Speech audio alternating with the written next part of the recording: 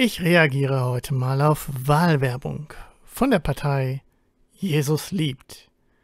Hallo, ich bin Jens der Christ und dann hören wir doch mal rein. Bundestagswahl 2013. Okay, 2013 ist schon ein bisschen her, aber vielleicht war es ja gute Wahlwerbung. Mal gucken. Dazu sehen Sie jetzt Wahlwerbung der Partei Jesus liebt. Für den Inhalt des Spots ist Jens der Christ verantwortlich. Warte mal, Jens der Christ, den kenne ich doch. Ach so, ja, das bin ja ich.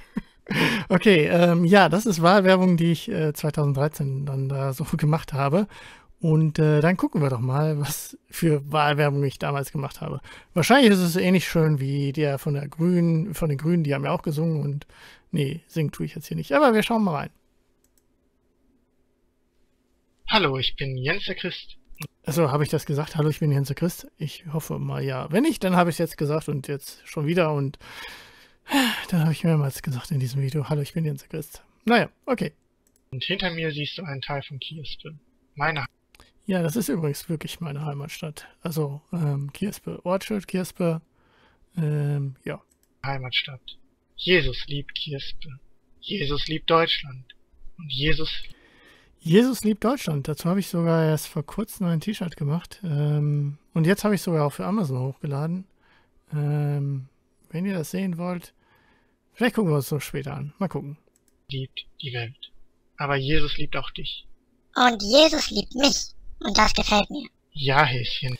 Ja, und Jesus liebt dich. Je- Jesus liebt auch dich dann wirklich. Äh, das waren übrigens noch Videos mit Häschen. Das war mal eine Zeit. Mittlerweile kommen nicht mehr so viele Häschen-Videos. Ähm, ja, aber damals gab es sie noch. Jesus liebt auch dich. Und Jesus möchte, dass du seine Liebe wählst. Ich werde dir in anderen Wahlwerbespots erklären, warum es das Beste ist, was du tun kannst. Aber Ich weiß gar nicht, ob, man, ich, ob ich das gemacht habe. Habe ich in anderen Wahlwerbespots äh, erklärt? Ich glaube, ich habe auch ein Video gemacht, wo ich äh, erkläre, dass ohne Gott alles sinnlos ist. Ich glaube, das gibt's auch. jetzt möchte ich dich bitten, am 22. September zur Wahl zu gehen. Naja, oder jetzt, ähm, wann auch immer das war, ist, ähm, wann, wann auch immer die nächsten Bundestagswahlen sind. Wobei, wenn ich das Video hier hochlade, dann ist wahrscheinlich die Wahl jetzt äh, schon vorbei. Ähm, dann kannst du dieses Jahr vielleicht nicht mehr wählen gehen. Wobei ich mal muss mal gucken, wie lange ich dafür brauche, um das hochzuladen oder so. Ähm, ja. und die Liebe Jesus zu wählen. Wenn es jetzt auf deinen Wahlzettel die Partei Jesus liebt nicht geben sollte, Und hast du die Partei Jesus liebt gesehen? Gibt's noch immer irgendwie nicht. Ich weiß nicht warum. Und deswegen wähle ich noch immer die ÖDP, weil es Jesus liebt leider nicht gibt als, als, als Stimme. Dann bitte ich dich zu überlegen, was würde Jesus wählen und dementsprechend die Partei wählen. Ja, und da bin ich ja der Meinung, Jesus würde die ÖDP wählen, aber wenn ihr meinen äh, Kanal verfolgt, dann wisst ihr es ja schon. Und ich frage dich, was kann man tun, damit auf deinem nächsten Wahlzettel die Partei Jesus liebt zu finden ist? Das ist eine interessante Frage. Ähm, ja, seit ein paar Jahren ähm, ist da anscheinend noch keine Lösung gefunden worden. Und helfe uns doch dabei, dieses umzusetzen. Ich gehe wählen. Gehst du auch wählen? Natürlich Ich habe Briefwahl gemacht. gehe ich wählen. Und wenn es die Partei Jesus liebt nicht auf meinen Wahlzettel gibt, dann schreibe ich die drauf und mache da mein Kreuz. Häschen, damit würdest du deinen Wahlzettel aber ungültig machen. Und dann wäre es genauso, als wenn du gar nicht gewählt hättest. Die letzten zehn Sekunden möchte ich dir nur eine Sache sagen.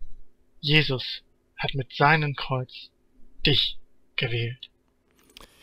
Ja, übrigens ähm, zu der ganzen Sache, also ähm, vorher hatte ich schon die Idee, ein T-Shirt zu machen, wo drauf steht, äh, ich gehe wählen, Jesus hat mit seinem Kreuz dich gewählt.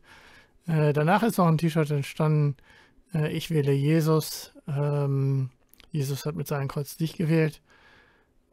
Weil als ich dieses Video aufgenommen habe, äh, hatte ich noch nicht eine bestimmte Idee, die ich nach diesem Video hatte. Und das hat mit Häschen zu tun, weil Jesus wollte ja Jesus wählen. Äh, Häschen wollte ja Jesus wählen. Und äh, dann habe ich mir überlegt, man könnte ja vielleicht wirklich Jesus wählen. Jetzt hier in diesen Wahlwerbung habe ich gesagt, damit macht man die Stimme eigentlich ungültig, macht man aber eigentlich nicht, habe ich danach festgestellt, dass man damit eigentlich nicht die Stimme ungültig macht.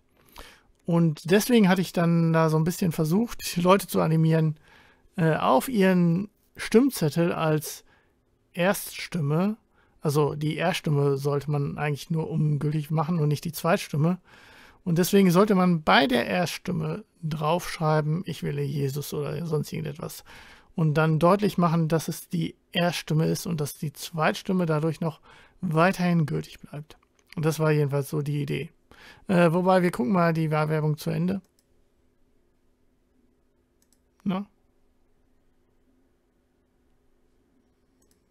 Bundestagswahl 2013. Das war ein Wahlwerbespot der Partei Jesus liebt. Ja, genau. Das war ein Wahlwerbespot, den ich mal damals äh, produziert habe. Ähm, ist schon ein bisschen her, 2013. Ja, ähm, hatte jetzt auch nicht so wahnsinnig viele Aufrufe und äh, das äh, positive, negative Verhältnis, ja, hätte sich auch noch in Grenzen übrig. Äh, aber naja, okay. Ähm, wir haben uns das jetzt angeguckt und äh, vielleicht erzähle ich noch ein bisschen, was, äh, was danach passiert ist.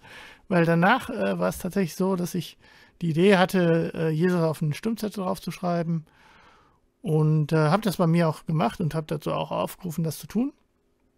Äh, allerdings, ähm, anders als das, was eigentlich richtig wäre, war bei mir in den Wahlbüro, wo ich gewählt habe, es so, dass die Leute damals nicht wussten oder vielleicht noch immer nicht wissen, äh, dass man nur seine Erststimme ungültig machen kann. Das ist möglich. Und das habe ich äh, gemacht, habe ich auch richtig gemacht. Allerdings haben sie es so nicht erkannt, die Wahlhelfer, und haben dann den ganzen Stimmzettel ungültig gemacht. Das habe ich im Nachhinein leider erfahren müssen. Und äh, deswegen schreib am besten jetzt nicht auf deinen Wahlzettel, wenn du denn äh, den hast, äh, dass du Jesus wählst. Ähm, es sei denn, du willst deinen kompletten Stimmzettel ungültig machen. Eigentlich könntest du es machen und nur deine Zweitstimme, äh, deine Erststimme ungültig machen. Aber wenn man das nicht so genau weiß als Wahlhelfer, dann kann es sein, dass dann alles ungültig gemacht wird. Naja. Ähm, ja, wenn du jetzt sagst, das war doch keine richtig gute Wahlwerbung. Dann habe ich jetzt noch etwas für dich, weil ich habe tatsächlich ein T-Shirt erstellt mit richtig guter Wahlwerbung. Ja, und wie schon gesagt, ich finde, das ist jetzt hier richtig gute Wahlwerbung. Man kann hier richtig gut erkennen, dass das hier äh, ein Wahl ist und dass man dafür Werbung macht dann halt. Und dann ist es ja Wahlwerbung. Ähm, gefällt euch diese tierisch lustige Wahlwerbung? Ähm, zu, die, zu, dieser Idee kam ich jetzt erst vor kurzem dann halt, äh, als ich Isa erzählt habe, dass ich auch mal Wahlwerbung gemacht habe oder dass ich auch Wahlwerbung mache oder sowas dann halt. Ähm, ja, und man kann hier diese T-Shirts äh, käuflich erwerben. Wobei, ähm, man könnte sich jetzt auch denken, ja, auf diesen schwarzen Tasse oder äh, man hat hier zum Beispiel dieses schwarze Produkt hier, was man da nehmen kann. Da sieht man ja das Schwarze hier nicht so sehr. Äh, ich möchte aber ein schwarzes T-Shirt haben. Geht denn das irgendwie? Und dann könnte man ja mal sich hier mal ein bisschen reingucken und man kann es hier personalisieren. Dann machen wir das doch mal einfach mal. Und bei dem Personalisieren kann man Design ändern, kann man verschieben oder sonstige Sachen machen. Äh, wobei äh, ich hatte das davor gemacht, deswegen war jetzt hier so ein Hinweis. Ich habe es geguckt, wie es geht. Ähm, also ich habe jetzt hier dieses schwarze T-Shirt und will das jetzt hier personalisieren. Und dann kann ich jetzt hier verschieben und sowas dann halt. Ne? Kann auch die Größe ändern. Und bei diesem Wahl kann ich sogar die Farben ändern. Das heißt, wir haben hier unsere drei Farben. Und das Schwarze passt jetzt auf diesen schwarzen T-Shirt nicht so sehr. Und dann nehmen wir einfach mal dieses hell. Äh, nee, das passt ja auch nicht so sehr. Dann nehmen wir mal dieses dunklere Blau und dann kann man dann da sehen, ja, so sieht dann eine richtige Wahlwerbung aus. Wobei, vielleicht machen wir hier den Wahl vielleicht weiß. Und äh, dann nehmen wir das hellere Blau. Ähm, ja, so könnte dann halt Wahlwerbung auf dem T-Shirt aussehen. Und das Grün können wir, äh, das Rot, Grün, das Rot können wir auch noch verändern in zum Beispiel Grün. ja, das können wir hier alles in den T-Shirt-Designer machen und deswegen äh, gibt es hier auch die äh, anderen Farben vielleicht ähm, an T-Shirts. Kannst du alles mal so ausprobieren und ausgucken und äh, testen, welche Farben es dann da noch so alles äh, gibt. Ja, und das ist richtig, richtig gute Wahlwerbung. Äh, neben Wahlwerbung gibt es dann natürlich noch andere interessante T-Shirts. Kommen jetzt auch vielleicht ein paar mehr dann halt äh, T-Shirts. Vielleicht lade ich dann da ein paar neue Designs hoch. Ihr könnt ihr sehen, habe ich heute gemacht. Und ähm, ja, und wer sich jetzt hier für die Preise dann da so interessiert, ähm, ja, ich habe da jetzt noch keine Marge drauf gesetzt. Und äh, das wird wahrscheinlich auch so bleiben, wobei hier bei den Stickers nicht. Bei den Stickers oder bei anderen Produkten kommt vielleicht eine geringe Marge drauf. Äh, in einigen Shops habe ich auch schon gemacht. Hier bei Jesus for Me habe ich, glaube ich, hier schon eine Marge draufgesetzt. Ne? Ja, ich glaube 2,22 Euro für einen Sticker ist soweit okay. Und die setze ich hier drauf. Aber bei den T-Shirts oder sowas oder bei den Tassen kommt da keine Marge drauf. Und ähm, dadurch sind, sind die Produkte tatsächlich sehr, sehr preiswert, wenn ihr hier mal guckt. Ähm, hier so ein Frauen-T-Shirt. Äh, warte mal, wo hatten wir das hier? 14,49 Euro. Das ist schon relativ gut für ein T-Shirt, was äh, personalisiert ist. Ähm, es kann aber durchaus sein, dass ich eine kleine Marge irgendwann bekomme oder vielleicht auch eine etwas größere Marge, ohne dass ihr mehr zahlen müsst, denn ab einem bestimmten Umsatz, also wenn ihr, ich glaube, 50 Produkte auf den, äh, die, die in diesem Margeprogramm drin sind, ähm, kauft, also Stickers sind da nicht drin, deswegen werde ich ja auf Stickers eine Marge draufsetzen. Aber bei anderen Produkten ähm, kann es durchaus sein, wenn ihr davon 50 kauft, dann kriege ich eine gewisse Marge. Also ich glaube, ähm, das fängt so ungefähr ab 1 Euro für ein T-Shirt an, dass wenn ihr 50 Produkte kauft, dass ich dann 1 Euro Marge pro T-Shirt bekomme. Und wenn ihr ganz, ganz viele T-Shirts kauft, äh, im Monat, im Monat müsst ihr die dann kaufen und nicht nur ihr, sondern generell alle zusammen, ne? äh, dann wird die Marge immer größer. Und vielleicht kriege ich ja so ein bisschen Geld. Wenn nicht, dann habe ich euch ein bisschen äh, das Leben versüßt, hoffe ich mal. Ich wünsche euch jetzt noch äh, einen schönen Tag und ähm, ja, entschuldigt diese Werbung oder diese Wahlwerbung. Äh, Isa meinte, keiner würde sich dieses T-Shirt kaufen.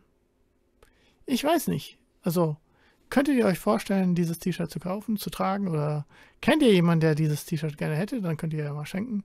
Oder vielleicht diesen Sticker hier. Den, den Sticker, den finde ich ja richtig lustig. Er kann sein, dass er bald äh, 2,22 Euro ist. Wenn ihr also ähm, 23 Cent sparen wollt, dann solltet ihr jetzt noch möglichst schnell zuschlagen. ja, ähm, ja, so viel zu der Werbung.